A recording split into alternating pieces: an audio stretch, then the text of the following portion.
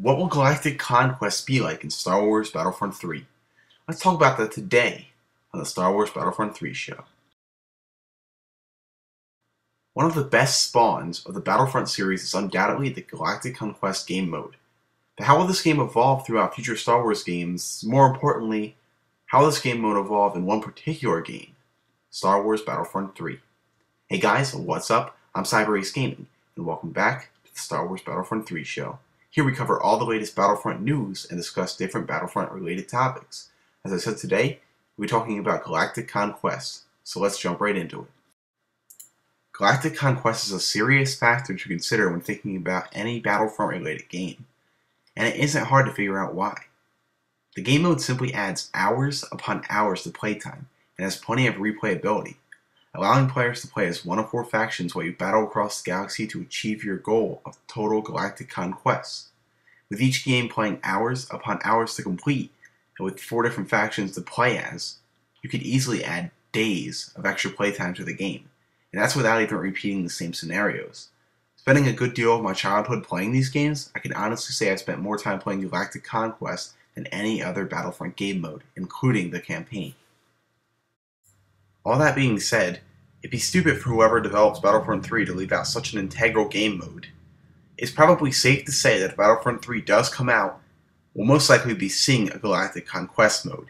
In fact, we know for a fact that Free Radical, the first developer of Battlefront 3, was working on Galactic Conquest, and we know this from leaked concept art that has surfaced on the internet. You should be seeing this art on the screen currently. Now that we've covered the importance of this game mode, how can Galactic Conquest improve? The game mode was already pretty solid, but there was certainly room for improvement, some things large and others small.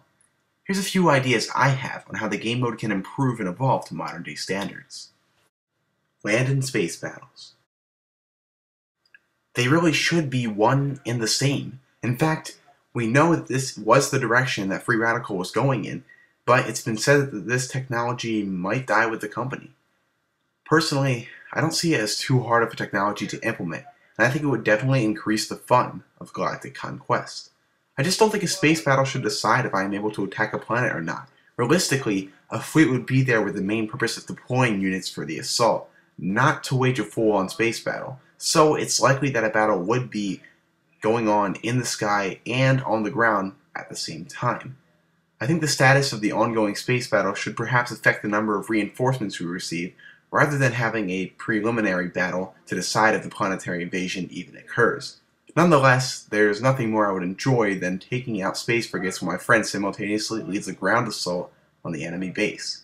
Just think of the possibilities. Multiplayer.